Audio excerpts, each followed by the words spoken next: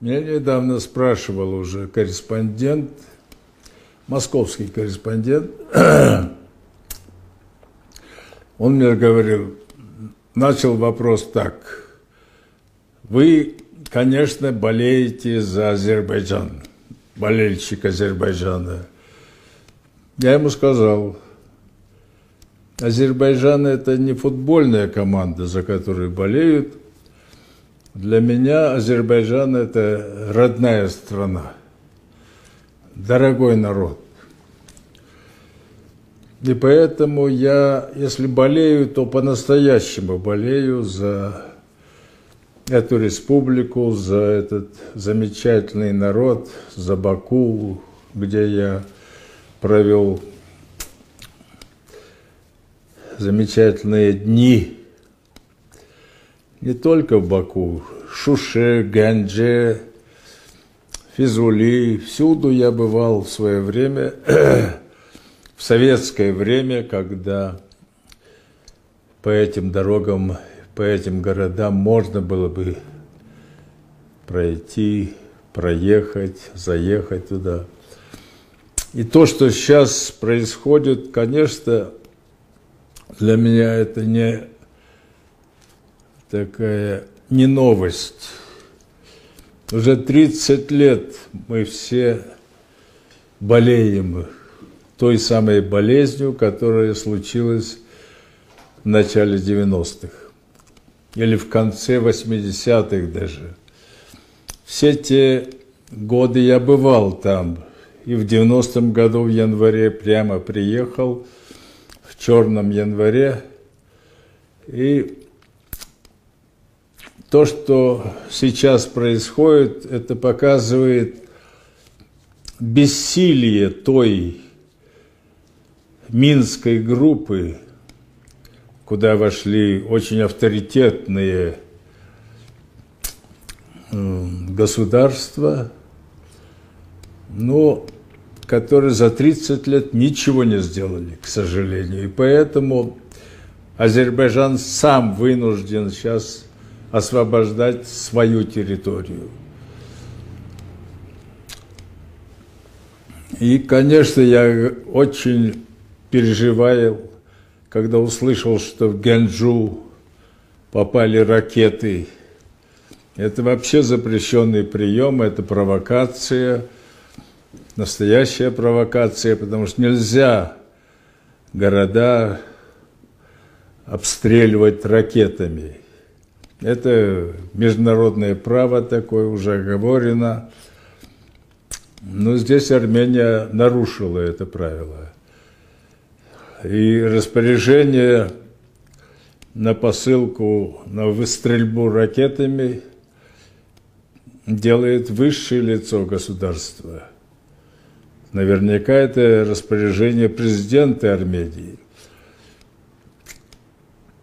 Это очень обижает, огорчает и оскорбляет всех нас. Но я радуюсь, что все-таки какие-то районы уже начинают освобождаться.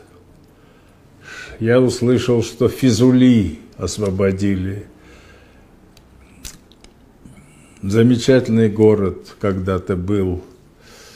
Не знаю, в каком сейчас он состоянии. Но я надеюсь, что все семь районов, захваченных 30 лет назад, будут освобождены. И надеюсь, что Минская группа все-таки присоединится присоединит свой голос одобрения вот тем успехам Азербайджана, который свою родину пытается освободить и освободит, безусловно, своими руками. Желаю успеха родному Азербайджану и желаю мира на той земле. Очень желаю. Я хочу сказать, что и признаться э, в своей любви к азербайджанскому народу, к Азербайджану и по желанию мира, и добра и светлых дней этой земле, этой республики. Спасибо. Генеральный секретарь организации Тюрксой Дюсен Касейнов направил письмо президенту Азербайджана Алиеву. Как сообщают СМИ, Касейнов пожелал скорейшего решения Нагорно-Карабахского конфликта в рамках нормы международного права и принципов, а также восстановления территориальной целостности Азербайджана. Генсек организации отметил, что историческая справедливость и право на стороне Азербайджана. Касейнов выразил уверенность в том, что под руководством Эльхама Алиева азербайджанский народ достойно справится и с нынешними трудностями. Уверен, что вместе со всем тюркским миром мы будем на наблюдать возрождение искусства, культуры и жизни на этих исторических землях, священных для каждого азербайджанца. Почему не принимает Европа Турцию? Она боится. Что мы-то не боимся? Турция 70 лет назад население было 17 миллионов. Армия турецкая самая сильная в блоке НАТО. Миллионная армия. У немцев 300 тысяч. Немцы это уже не солдаты. Турецкие солдаты основа сухопутных войск НАТО. 150 миллионов турок через 30 лет. Самая мощная сегодня сильная, сплоченные все. Они же сомнут Армению. Сомнут ее полностью, соединятся с Азербайджаном, создадут великое турецкое государство Туран. У них есть что их сплачивает, у них язык сплачивает. Турецкий язык это азербайджанцы, туркмены, узбеки, киргизы, казахи, татары, башкиры. Их, наверное, 200 миллионов, если всех собрать турки, Азербайджан, Туркмения, Узбекистан, Казахстан, Киргизия, у нас Горный Алтай, Хакасия, до э, Красноярска, Красноярский край. Там еще есть вот река Енисей, енисейско-архонские надписи на тюркском языке, древние тюрки там.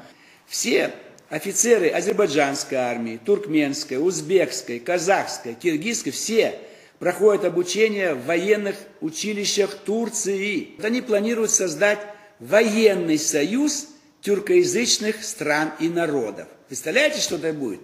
Когда мы не сможем и свою военную силу использовать. Объединенная армия у них будет 10 миллионов со всего тюркоязычного мира. Ну и в конце концов многомиллионная армия тюрок может начать вторжение в китайский Туркестан и раздербанить Китай. Вот их голубая мечта. Bir aksak olarak sizin değerinizde Казахстан'ın kaydettiği her gelişmeyi biz... Мы считаем вас аксакалом всего тюркского мира и очень рады, что под вашим руководством Казахстан добивается таких успехов в своем развитии. Достижением Казахстана мы радуемся как своим и очень этим гордимся. Во время нашей первой встречи вы спросили у меня, сколько казахов живет в Турции. Тогда я ответил вам, что вместе со мной 70 миллионов.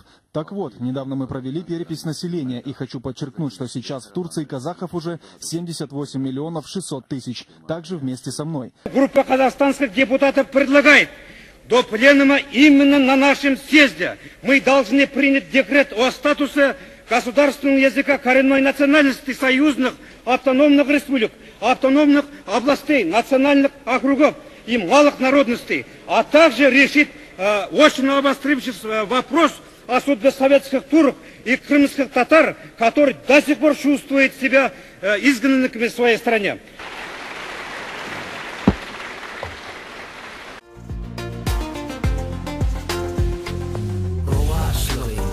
Anlap gelin yılların talamuru var Günleri hoşlap gelin yolların kemarı var Federlin kardin tovavi geçmişin erte duvami. Kışneyşin arşın ovavi kalbinin tematı var Tehruzi